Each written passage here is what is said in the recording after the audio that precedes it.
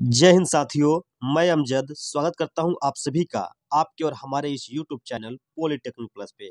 साथियों, आज की इस वीडियो में हम बात करने वाले हैं बिहार पॉलिटेक्निक फ़र्स्ट सेमेस्टर के सिलेबस के बारे में। देखिए, अगर आप बिहार पॉलिटेक्निक में फ़र्स्ट सेमेस्टर में अगर एडमिशन लेते हैं तो जितने भी सारे बिहार पॉलिटेक्निक के ब्रांचेज हैं, उन्हें जो है दो पार्ट में डिवाइड किया जाता है। पहला जो है ग्रुप ए और दूसरा जो है ग्रुप बी तो आज हम बात करेंगे ग्रुप ए के सिलेबस के बारे में। तो चलिए सबसे पहले जानते हैं कि ग्रुप ए में कौन कौन से ब्रांचेज आते हैं। तो ग्रुप ए में आते हैं सर इलेक्ट्रिकल, मैकेनिकल और कंप्यूटर साइंस। इन तीनों ब्रांच के छोड़ के अगर आपने कोई और ब्रांच लिया है तो आप जो है ग्रुप बी के अंतर्गत आते हैं। अगर आपको ये तीनों ब्रांच है, तब आप ए के अंतर्गत आते हैं। तो आज के इस वीडियो में हम ग्रुप ए वाले बच्चों का सिलेबस के बारे में ज़िक्र करेंगे, वो भी पूरे डिटेल के साथ। और जो बच्चे ग्रुप बी के हैं वो जो है इस चैनल को सब्सक्राइब कर ले, क्योंकि बहुत जल्द उनके बीच ग्रुप बी के सिलेबस लेके मैं आने वाला हूँ। तो चले लेके चलते हैं, डायरेक्ट आपको सिलेबस के दुनिया में और दिखाते हैं कि ग्रुप ए वाले बच्चे का क्या क्या सिलेबस है और उन्हें क्या क्या पढ़ना है। जैसा कि आप देख सकते हैं, आपके सामने हमने सिलेबस को यहाँ पे खोल दिया है, यहाँ लिखा गया है, state board of technical education, Bihar. सबसे पहले आपको बता दें कि आपका जो एग्ज़ाम्स जो कंडक्ट कराई थी इंट्रेंस एग्ज़ाम वो जो है बी बोर्ड कराई थी। लेकिन अब जो है आप BCC बोर्ड से जो है गए हैं SBT में आप आ गए हैं state board of technical education में आप आ गए हैं। अब BCC आपका कोई जिम्मा नहीं लगी, उनका जिम्मा बस इतना ही था कि आपको इंट्रेंस एग्ज़ाम दिला के आपको यहाँ पे पहुँचा देना। है तो आज से जो है आपको आपको एस का सिलेबस को फॉलो करना है। तो ग्रुप ए के जो बच्चे हैं, उन्हें जो है पाँच पेपर पढ़ना है और पाँच पेपर कौन कौन सा पढ़ना है, वो आपको हम दिखाते हैं। तो आपको पढ़ना है mathematics one, applied physics one, applied chemistry, communication skill in English engineering graphics. यानी टोटल जो है आपको पाँच सब्जेक्ट पढ़ना है। आपको बता दें कि प्रत्येक सब्जेक्ट का एग्ज़ाम जो होगा आपका सौ मार्क्स का होगा, जिसमें आपका सत्तर मार्क्स जो होगा एक्सटर्नल होगा, यानी कहीं सेंटर जाएगा, और तीस मार्क्स का एग्ज़ाम जो है आपके कॉलेज में ही होगा। तो आप समझ गए होंगे कि आपको कौन कौन से सब्जेक्ट पढ़ना है। एक बार फिर से देख लीजिए। Mathematics one, applied physics one applied chemistry communication skill in English and engineering graphics आपको ये पाँच पेपर को जो है पढ़ना है। तो चलिए आपको पूरा डिटेल में बताते हैं कि किस सब्जेक्ट में कौन कौन से चैप्टर आपको पढ़ने ये तो सारा आपका थ्योरी है लेकिन प्रैक्टिकल का भी एग्ज़ाम्स आपको देना पड़ेगा। चलिए देखते हैं कि प्रैक्टिकल कौन कौन सा रहने वाला है। तो प्रैक्टिकल आप देख सकते हैं फ़र्स्ट में रहेगा छः नंबर पर applied physics lab one applied chemistry lab communication skill का लैब रहेगा। यानी आपका जो है तीन लैब रहेंगे, यानी तीन प्रैक्टिकल रहेंगे और टर्म वर्क भी रहेगा। तो चलिए आपको दिखाते हैं कि आखिर टर्म वर्क जो है कौन कौन सा रहने वाला है। तो आपका टर्म वर्क भी तीन रहेगा। पहला जो है engineering workshop sport and yoga या फिर के वाई पी या फिर आई टी या पाइथन वगैरह रहेगा। यानी आपका जो है पाँच पेपर का जो है आपका एग्ज़ाम्स देना होगा सेंटर पे और तीन पेपर जो रहेगा आपका प्रैक्टिकल, जो कि कॉलेज में होगा, और तीन पेपर जो है टर्म वर्क जो कि कॉलेज में होगा।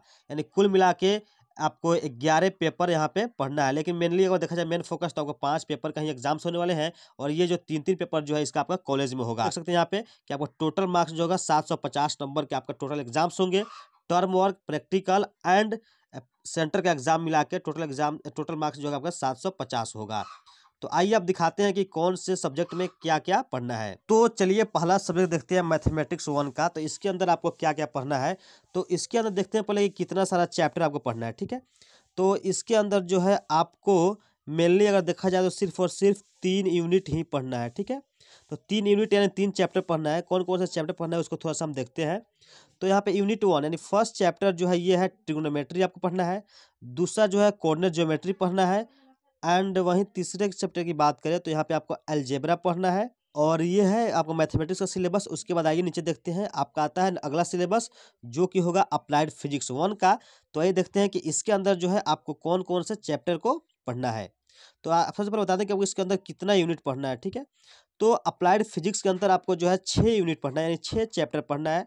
चलिए देखते हैं बारी बारी से कि आखिर कौन कौन से चैप्टर आपको यहाँ पे पढ़ना है। तो यहाँ पे यूनिट वन यानी फ़र्स्ट चैप्टर जो है physical word unit and measurement जो कि आपने नाइन्थ क्लास में पढ़ा होगा, उसी का जो है थोड़ा सा एडवांस वर्जन आपको पढ़ने को मिलेगा चैप्टर वन में। और दूसरा जो चैप्टर है, ये है फोर्स एंड मोशन जो कि आप नाइन्थ में भी इसके बारे में थोड़ा बहुत आपको जानकारी मिला होगा। और उसी को यहाँ पे क्या करना है, थोड़ा सा एडवांस वर्जन में पढ़ना है। तो तीसरा जो चैप्टर है वह है वर्क, पावर एंड एनर्जी। चौथा जो है, रोटेशनल मोशन।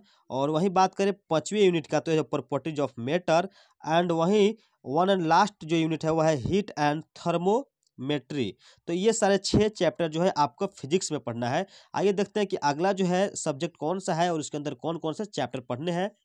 तो अगला सब्जेक्ट के बीच आ रहा है अप्लाइड केमिस्ट्री तो आइए देखते हैं कि अप्लाइड केमिस्ट्री में कौन कौन से चैप्टर को आपको पढ़ना है।